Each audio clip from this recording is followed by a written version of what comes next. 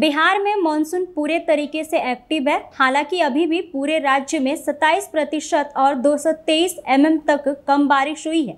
मौसम विभाग के अनुसार बुधवार 6 सितंबर तक 820.9 एमएम बारिश होनी थी, लेकिन अब तक पाँच सौ संतानवे एमएम ही बारिश हुई है।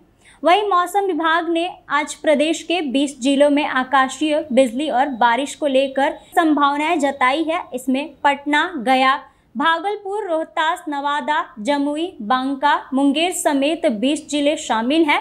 आज दक्षिण बिहार की तुलना में उत्तर बिहार में अधिक बारिश होने की भी संभावना जताई गई है। मौसम विभाग के अनुसार मानसून द्रोणी रेखा बीकानेर, गुना रायपुर, मंडला, कलिंगा पट्टनम से होकर दक्षिण पूर्व की ओर मध्य बंगाल की खाड़ी तक प्रभावी है।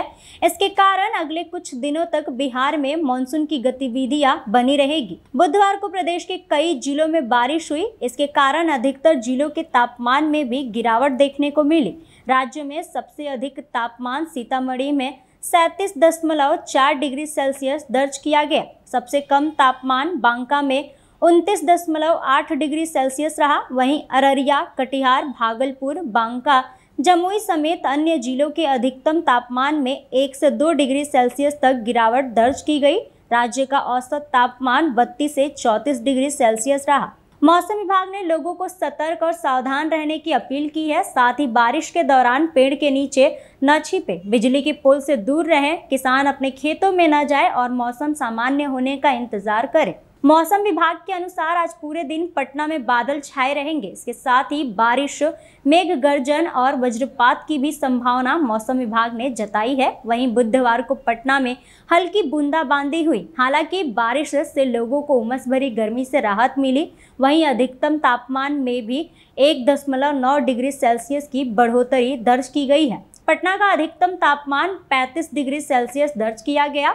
पिछले 24 घंटे के दौरान वज्रपात से सारण ज़िले में तीन लोगों की मौत होने पर सीएम नीतीश कुमार ने गहरी संवेदना व्यक्त की है। सीएम ने मृतक के परिजनों को चार चार लाख रुपए मुआवजा देने का ऐलान किया है। सीएम ने लोगों से अपील की है कि लोग खराब मौसम में पूरी सतर्कता बरते। खराब मौसम होने पर वज्रपात से बचाव के लिए आपदा प्रबंधन विभाग द्वारा समय समय पर जारी किए गए सुझावों का पालन करें।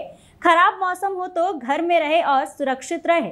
एक बार फिर से बता दूँ कि बिहार में मानसून पूरे तरीके से एक्टिव है। हालाँकि अभी भी पूरे राज्य में 27 प्रतिशत और 223 एमएम तक कम बारिश हुई है। वहीं मौसम विभाग ने आज प्रदेश के 20 जिलों में आकाशीय बिजली और बारिश को लेकर के संभावनाएँ जताई है। इसमें पटना गया, भागलपुर, रोहतास, नवादा, जमुई, बांका, मुंगेर समेत 20 ज़िले शामिल हैं। आज दक्षिण बिहार की तुलना में उत्तर बिहार में अधिक बारिश होने की भी संभावना जताई गई है।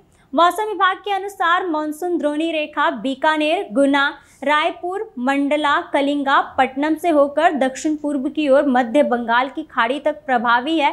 इसके कारण अगले कुछ दिनों तक बिहार में मानसून की गतिविधियाँ बनी रहेगी। बुधवार को प्रदेश के कई जिलों में बारिश हुई। इसके कारण अधिकतर जिलों के तापमान में भी गिरावट देखने को मिली। राज्य में सबसे अधिक तापमान सीतामढ़ी में सैंतीस डिग्री सेल्सियस दर्ज किया गया। सबसे कम तापमान बांका में उनतीस दशमलव आठ डिग्री सेल्सियस रहा। वहीं अररिया, कटिहार, भागलपुर, बांका, जमुई समेत अन्य जिलों के अधिकतम तापमान में एक से दो डिग्री सेल्सियस तक गिरावट दर्ज की गई। राज्य का औसत तापमान 32 से 34 डिग्री सेल्सियस रहा।